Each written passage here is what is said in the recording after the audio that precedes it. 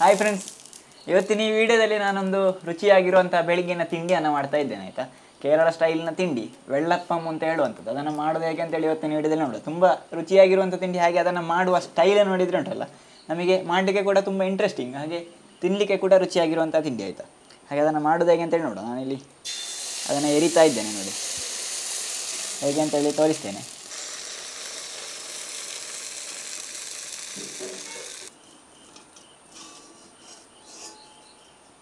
ಬೆಳ್ಳಪ್ಪ ಮಾಡಲಿಕ್ಕೆ ನಾನು ಮುಕ್ಕಾಲು ಸೇರಿನಷ್ಟು ಬಿಳ್ತಿಗೆ ಅಕ್ಕಿಯನ್ನು ನೆನೆಯಲಿಕ್ಕೆ ಹಾಕ್ತೇನೆ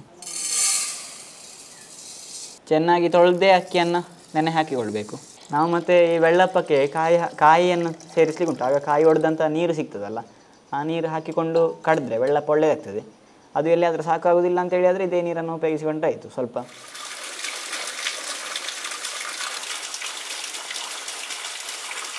ಬೆಳ್ಳಪ್ಪಕ್ಕೆ ಕಡಿಲಿಕ್ಕೆ ನಾನಿಲ್ಲಿ ಒಂದು ಕಡಿಯಷ್ಟು ಕಾಯಿ ತುರಿಯನ್ನು ತಗೊಂಡಿದ್ದೇನೆ ಅದೇ ರೀತಿಯಲ್ಲಿ ಇದು ಒಡೆದಂಥ ಕಾಯಿ ನೀರನ್ನು ವೇಸ್ಟ್ ಮಾಡಲಿಲ್ಲ. ಅದನ್ನು ನಾವು ಇಲ್ಲಿ ಕಡಿಲಿಕ್ಕೆ ಉಪಯೋಗಿಸ್ಲಿಕ್ಕೆ ಉಂಟು ಇದನ್ನು ಕಡಿಲಿಕ್ಕೆ ಒಳ್ಳೆ ಇದಾಗ್ತದೆ. ತೆಂಗಿನಕಾಯಿಯ ನೀರು ವೇಸ್ಟ್ ಮಾಡಬಾರ್ದು.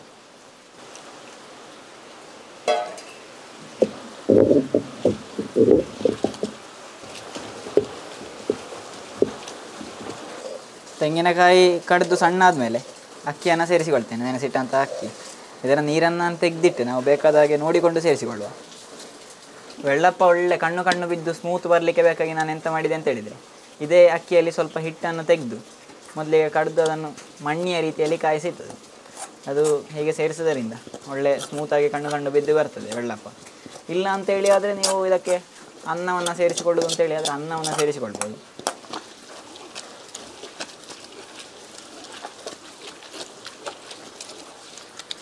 ಕಡಿಯುವಾಗ ಕಾಯಿ ನೀರನ್ನೇ ಸ್ವಲ್ಪ ಸೇರಿಸಿಕೊಳ್ಳುವುದು. ತೆಂಗಿನಕಾಯಿ ಹೊಡೆದಾಗ ಸಿಕ್ಕಿದ ನೀರು.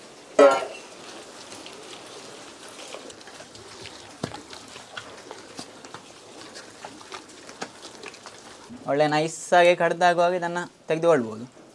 ಅದೇ ರೀತಿಯಲ್ಲಿ ತರಿ ತರಿಲ್ಲ, ಗಟ್ಟಿಗೆ ಕಡಿದುಕೊಂಡೆ. ನಾನು ಈ ಹಿಟ್ಟನ್ನೊಂದು ಏಳೆಂಟು ಗಂಟೆಗಳಷ್ಟು ಮೊದಲು ಕಡ್ದಿಡ್ತೇನೆ ನೈಸಾಗಿ ಸರಿಯಾಗಿ ಹುಳಿ ಬರಲಿಕ್ಕೆ ಹಿಟ್ಟಾಗುವಾಗ ಉಂಟಲ್ಲ, ಬೆಳ್ಳಪ್ಪಕ್ಕೆ ಆ ಕಣ್ಣು ಕಣ್ಣು ಬೀಳುವಂಥದ್ದೆಲ್ಲ ಒಳ್ಳೆ ಚೆನ್ನಾಗಿ ಬಿದ್ದು ಬರ್ತದೆ. ಹಾಗೆ ಸ್ಮೂತಾಗಿ ಇರ್ತದೆ ಎಲ್ಲ ಇದೆಲ್ಲ ಹಿಟ್ಟೆಲ್ಲ ಸೇರಿಸಿದ್ದಲ್ಲ ನಾವು. ಹಾಗಾಗಿ ಈ ಹಿಟ್ಟನ್ನು ಇಲ್ಲಿಗೆ ಇನ್ನು ಮುಚ್ಚಿಡುವಂಥದ್ದು. ಉಪ್ಪು ಹಾಕಲಿಲ್ಲ ನಾನು ಕಡಿಯುವಾಗ. ಉಪ್ಪನ್ನು ಮಾತ್ರ ನಾವು ಎಲ್ಲ ಏರಲಿಕ್ಕೆ ಆಗುವ ಹೊತ್ತಿನಲ್ಲಿ ಹಾಕಿದರೆ ಸಾಕು. ಎಂಟು ಗಂಟೆಗಳಷ್ಟೊತ್ತು ಬಿಳಿ ಬರಲಿಕ್ಕೆ ಇಡ್ತೇನೆ ಹೀಗೆ. ನಿನ್ನೆ ಕಡ್ದಿಟ್ಟಂಥ ಹಿಟ್ಟಿಗೆ ಎಂಟು ಗಂಟೆಗಳಷ್ಟೊತ್ತಾಯ್ತು ಈಗ ಇಟ್ಟದು ನೋಡಿ, ಒಳ್ಳೆ ಹುಳಿ ಬಂದಿದೆ ನೋಡಿ. ಹೇಗಾಗಿದೆ ನೋಡಿ. ನೋಡಿ ಒಳ್ಳೆಯದಾಗಿದೆ ಹಿಟ್ಟು. ಸೋಡದೊಡ್ಡಿ ಅದು ಇದೆಲ್ಲ ಎಂತ ಹಾಕಲಿಲ್ಲ.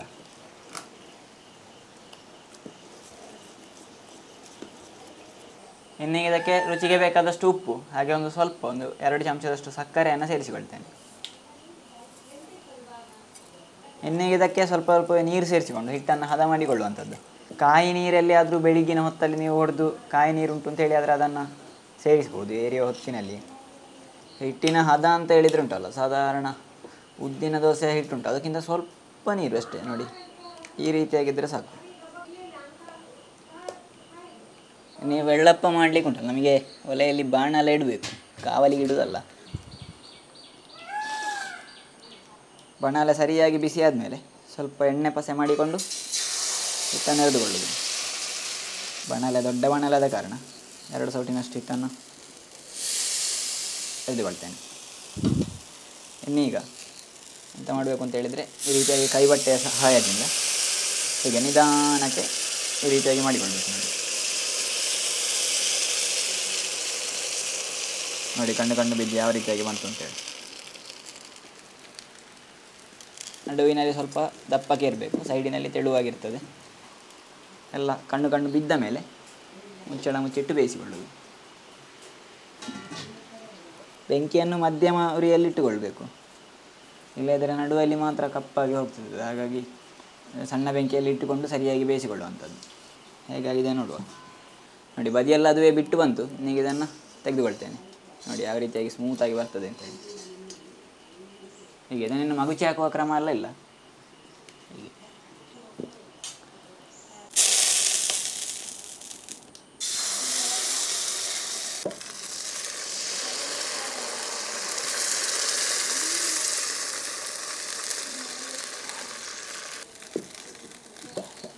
ಸರಿಯಾಗಿ ಕಣ್ಣು ಕಣ್ಣು ಬಿದ್ದ ಮೇಲೆ ಮುಚ್ಚಿಕೊಳ್ತೇನೆ.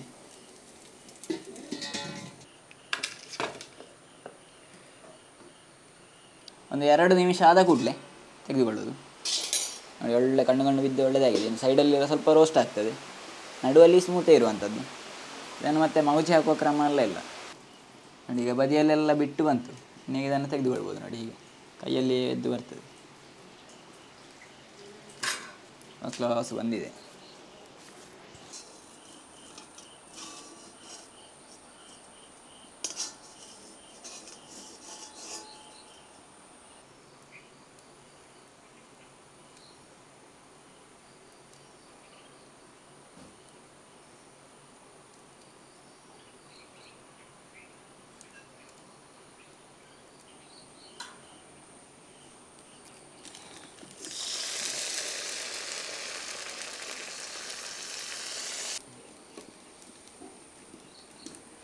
ಬೆಳ್ಳಪ್ಪ ಹೇಗಾಗಿದೆ ಅಂತೇಳಿ ನೋಡಿ. ಒಳ್ಳೆ ಸ್ಮೂತಾಗಿ ಉಂಟು.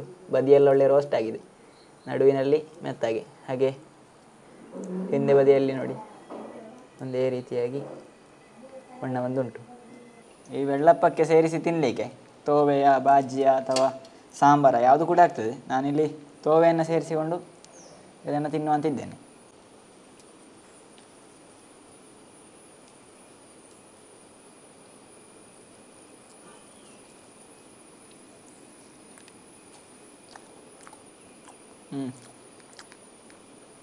ಒಳ್ಳೆಯದಾಗಿದೆ ಒಳ್ಳೆ ಬಿಸಿ ಬಿಸಿ ಇರುವಾಗ ಕರುಕುರು ಇತ್ತು.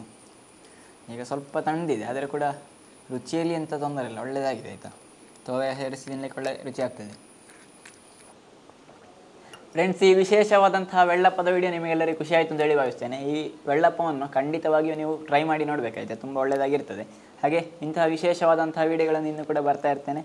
ಮುಂದಿನ ವಿಡಿಯೋದಲ್ಲಿ ಸಿಗುವ ನಮಸ್ಕಾರ.